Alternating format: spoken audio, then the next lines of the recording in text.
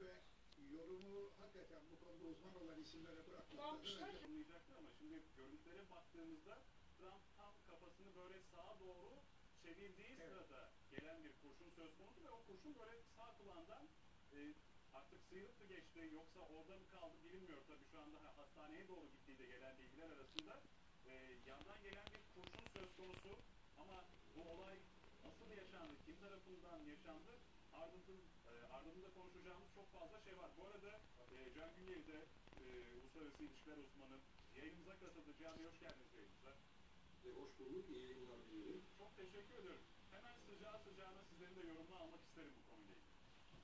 E, açıkçası e, şuradan aslında almak gerekir belki de Trump e, çok uzun bir zamandır ilk başkanlık döneminde de çok istenilen bir figür değildi. Amerikan hem iç politika hem dış politika çerçevesinde de açıkçası e, sistemin kendisine uymayan bir e, figür olarak e, karşımıza